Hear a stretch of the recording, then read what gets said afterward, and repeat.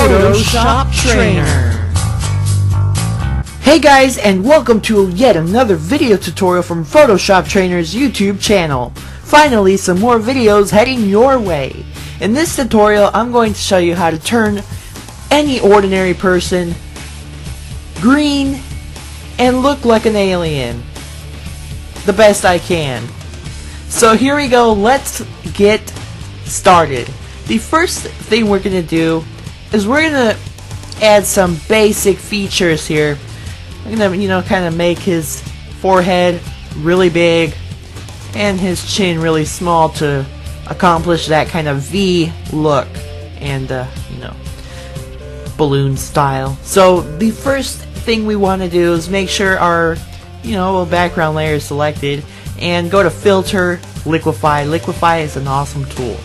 So now we have the power to do everything that I just said. We're going to come over here to the bloat tool and I'm going to increase the brush size over here in the tool options. Just increase it to around hmm, maybe 250, hmm, maybe bigger. 305 and decrease the size of his head. Okay, I meant to say increase the size of his head, but for some reason decrease came out. Now he's starting to look like a midget. No offense.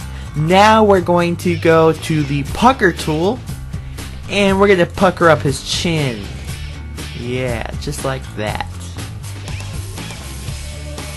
And also I'm going to decrease the brush size to around 100, maybe 80, and decrease his nose size. And we're also going to come over here to the forward warp tool, a little bit of a bigger brush size to around 103, and make his eyes a little bit more alien-like. More up, just like that and kind of point out his chin. Looks pretty good. And if you want, you can go back to the bloat tool and kind of try to decrease the size of his eyes. And again with the decreasing, because we all know aliens have big eyes, right? There we go. Awesome. Now we're going to click OK. Boom. And now we have that alien look. Now, the very last step we need to do is make him green, right? It can't get any easier than this. The only thing we have to do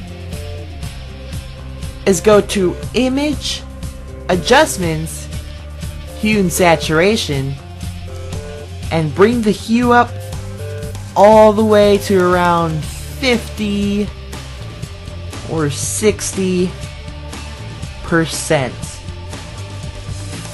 How easier can how how much easier can it get? And click OK. Now you have a pretty cool alien looking effect that you created in Photoshop. Do this to anyone, yourself, friends, family. Make a whole group picture aliens.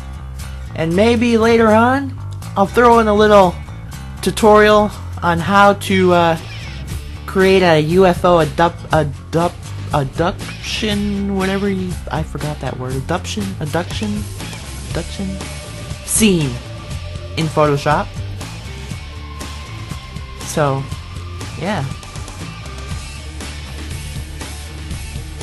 Have fun with this tutorial. Hope this tutorial helped. If you're on YouTube, please if